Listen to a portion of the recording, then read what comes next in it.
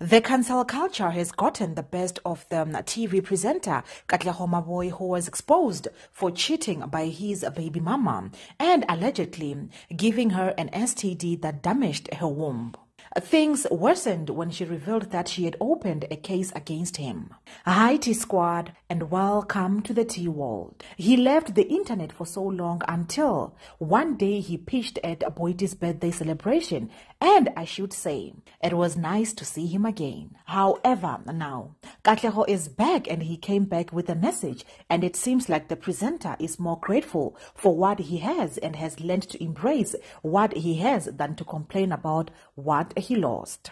It's difficult at such a time to be thinking of a word such as gratitude. The past year has taken so much away from all of us, and for some of us, it has taken everything. Be that as it may, I still firmly believe that there is so much to be grateful for, especially while facing daunting prospects. The very breath in our lungs is a signal that echoes the need for gratitude amidst the raging storm. Not so much as to brush off as insignificant the challenges we have gone through and still face daily, but as a firm stance to affirm that we will not be defeated. We are more than our current circumstances, and our continued existence and possible future depends on that belief. That tomorrow holds the promise of improvement and betterment of the self and circumstances. I have found solace in the word that says, For I am convinced that neither death nor life, neither angels nor demons, neither the present nor the future,